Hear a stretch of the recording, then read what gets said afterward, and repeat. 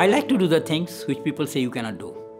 When somebody says, This is a problem we have, I don't think we can solve it. How many years it takes, how many times you fail, that really is not my consideration when I try to do something which people said it cannot be done. That excites me the most. As a civil engineer, we build buildings and structures. And buildings and structures last more than our lifespan. So you have to make them stronger and making the buildings uh, more energy efficient both in terms of operational energy and embedded energy that will contribute hugely to mitigate the impact of climate change. And it can actually in the long run can reverse uh, the climate change process if we build the new buildings in a more environmentally sustainable way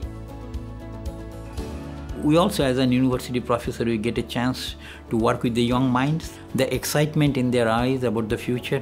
I think that's the most uh, important thing what i see in my current job. One thing i tell the students be ambitious be fearless and learn from the criticism. Don't take it as a stumbling block. If people are criticizing you that means you are going in the right direction. You are doing something worthwhile. Facing the challenges and solving it, that excites me in, even now, you know, and that keeps me young. I think that is my suggestion is that take the challenges of civil engineering and prove your worth.